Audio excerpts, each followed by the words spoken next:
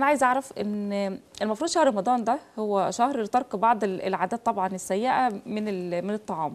وإحنا ممكن نلاحظ على فكرة فوائد كتيرة جدا في التغذية العلاجية في شهر رمضان ولكن إحنا طبعا بنهمل كل ده ب... عايزة أقول لك بال... بالنهم اللي بندخل عليه في هي الأكل. أفضل فترة للتغذية العلاجية فترة الصيام. والله. لأن أصلا الفترة إن اللي إحنا بنزيد. لا ما هو إحنا بنزيد لأن الطريقة اللي إحنا بناكل بيها وبنشرب بيها عصاير خاطئة. كمية كبيرة جدا مم. في وقت ضيق جدا. لكن هو فترة الصيام نفسها بتنقي الجسم من السموم. فالمفروض إن انت تبدأي إن انت تدخلي حاجات تفيد جسمك مع التنقيه اللي انت عملتيها لفترة الصيام كلها. مم. طب لما أجي أتكلم بقى عن أسس التغذية السليمة في شهر رمضان فالمفروض ABC أعمل إيه؟ آه، أكتر حاجة مسيئة في ال- الوقت اللي بين الفطار وبين السحور ما يبقاش فيه وجبات في النص. والله يعني أنا أفطر آه. واتسحر. أنا أفطر وأتسحر بس والتسلي ده وديها فين؟ آه، يعني ده أهم من الفطور هي والسحور المشكلة إن كم ال- الحلو اللي الناس بتاكله في رمضان غير العادة بيعمل مشاكل كتير جدا. وطبعا كلها معجنات و وداخل فيها دي والجلوتين والكلام ده كله. بيبوظ المعدة والقولون وبيعمل مشاكل كتير جدا مع السكريات بقى. كم السكر اللي بيستخدموه غير عادي في في شهر رمضان آه، رهيب بالنسبة لشغل العصاير وال- والحلويات. والحلويات آه. فطبعا حتى لو انت بقى لا والفطار لو بيبقى كويسة- مش بيبقى عليه صنف واحد يعني متعدد الأصناف. هو المفروض إن إحنا ناكل صنف واحد مع شوربة و... ورز وكمية رز برضو بسيطة لأن انت صايمة. ما أنا صايمة حضرتك فبسيطه منين ما هي الحاجة إن إحنا صايمين. بالعكس أنا علشان فعلا تنقي جسمك فعلا من السموم فعلا الفترة اللي انت بتاعت رمضان دي فترة الصيام لوحدها بتنقي جسمك.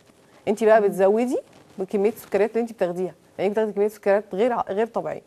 والمشكلة اللي إحنا بنتكلم فيها دايما في الصحة السكريات والزيوت والمعجنات. الثلاث حاجات دول أسوأ حاجة إحنا بنعاني منها أو بتعمل لنا مشاكل كتير جدا. بتعمل لنا مشاكل في المعدة وبتعمل لنا مشاكل في القولون وفي الهضم حاجات كتير. طيب. آه لما أحب بقى أبدأ شهر رمضان إن أنا ناوية أغير حياتي فيه آه في في النظام الغذائي. فأعمل إيه مبدئيا؟ إيه المفروض يتواجد على سفرتنا على الفطار وإيه اللي المفروض يتواجد على السحور؟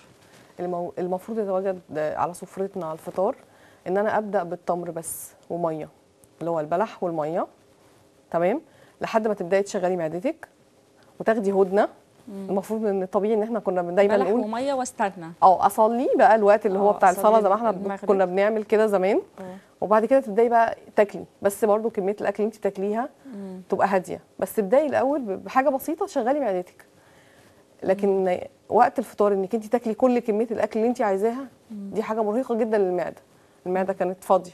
مم. وصغيرة كده. لأن انت صايمة طول النهار. انت مرة. واحدة نفختيها. فهيحصل لك إيه؟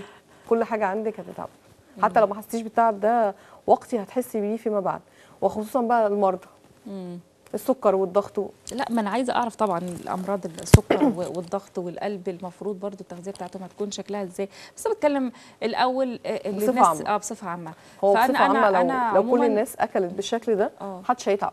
سواء بقى هو مريض أو غير مريض. ليه؟ أنا معدتي صغيرة حاليا وملمومة وفاضية و- وبقالي وقت طويل جدا صايمه طب هل في برضو وجبات المفروض تتواجد على السفرة؟ بصي عندك حاجتين أساسيين لازم يبقوا موجودين على السفرة. سي بقى إحنا في رمضان سلطة. أو غير رمضان. سلطة وشوربة. وشوربة. سلطة وشوربة. دول يعني الأساسي فعلا. لو ال- بداتي الفطار بتاعك بالشوربة بداتي تظبطي معدتك شوية بعد كده بقى إيه كمية الرز اللي انت هتاكليها هتقلليها. الشوربة اخذت حيز كبير كويس في معدتك.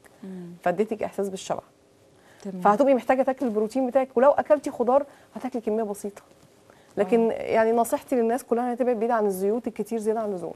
يعني يعني شوربه شوربة سادة ولا شوربة شوربة خدار سوتيه شوربة خضار شوربة لسان عصفور مش. مشكلة. أي آه. نوع شوربة إيه دي مش مشكلة.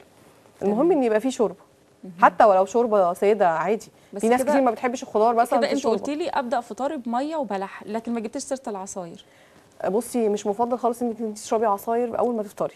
عايزه تشربي عصاير بقى تشربي بين ال... بين البنين اللي هو بين الفطار وبين السحور وفي نفس الوقت أشرب حاجة فريش يعني ابعد بعيد عن أي حاجة داخلها سكريات.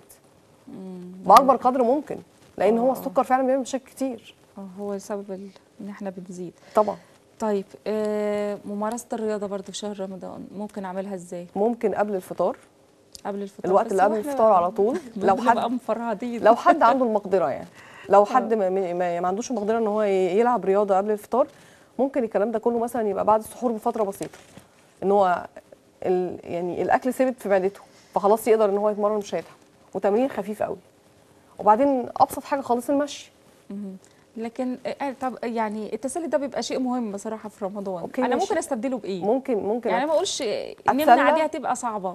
ماشي okay. آكل حاجات بسيطة. يعني مثلا لو أكلت مثلا قطعة كنافة قطعة كنافة اتنين بس حاجة بسيطة حاجة صغيرة. لكن الكم اللي انت هتاكليه مش هيفيد معاكي في أي حاجة. هو لكن هو أنا ما ينفعش أستبدلها بحاجات تانية صحية مثلا ينفع طبعاً. أيوه ما هو ده اللي أنا عايزة أتكلم فيه. إيه آه، اولا لو انت عملتي الحاجات دي عندك في البيت تبدأي إنك انت تستخدمي سمنة بنسبة بسيطة السكر بتاعك بسيط. آه، ممكن تجيبي سكر دايت تشتغلي بيه. ممكن تدخلي زبدة دايت وتشتغلي بيها. فتفرق معاكي. انك انت هتاكلي حاجة بسعرات حرارية أقل فما تزودش وزنك. ما ترفعش عندك السكر ما ترفعش عندك الضغط ما تعملش عندك أي مشاكل وخصوصا الأطفال. طيب الوجبة الشعبية للشعب المصري على مائدة السحور الزبادي وال- والفول.